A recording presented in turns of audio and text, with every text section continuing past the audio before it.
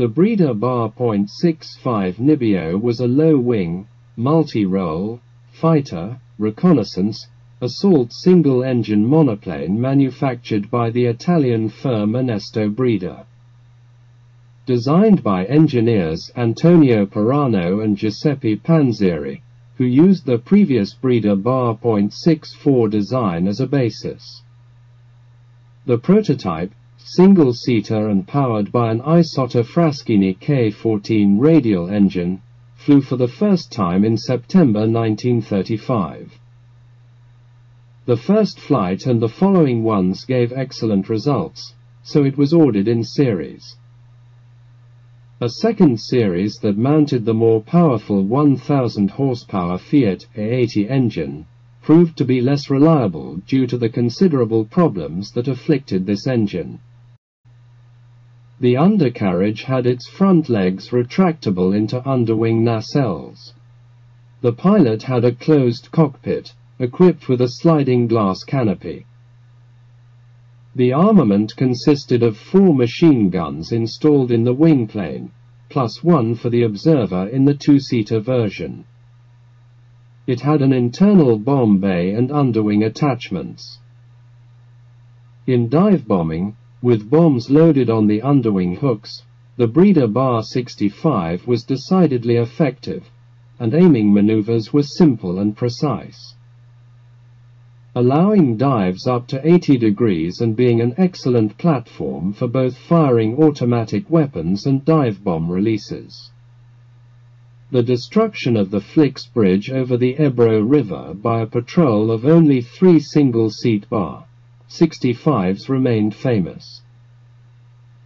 So the Regia Aeronautica already had an excellent ground attack aircraft in 1937, capable of a speed of 430 km per hour. In some ways superior to the Ju-87 Stukas. Due to the limited financial resources and the undecided attitude of the Regia Aeronautica, which could not be resolved between strategic and tactical bombing, wasting economic resources, only a few examples were ordered. It was counted on the fact that further projects were in development which appeared to be a substantial step forward.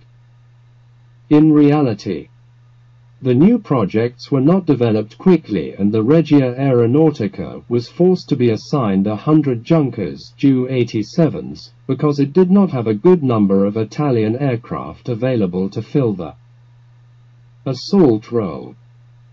In fact, the fighters that moved to the second line because they were obsolete were employed in this role, such as the Fiat CR 32, the Fiat CR 42, the Fiat G50, the Macchi 200. A real pity because if instead of closing the Breda Ba 65 Nibbio production line, if it had been opted for its modernization with a more powerful and reliable radial engine, a modernization which had already been put in the pipeline by the engineer Parano, the Regia Aeronautica would have had a highly effective attack aircraft available on a continuous basis. I want to mention here that in 1940 and 1941 the kite was considered a mortal danger by the Desert Long Range Group and the British Eighth Army. Its use in quantity would have inhibited and cancelled the ability to move, jeopardizing the compass operation. In particular, before his sudden death, Italo Balbo, governor and head of Italian military operations in Libya, had prepared a series of operations in this sense.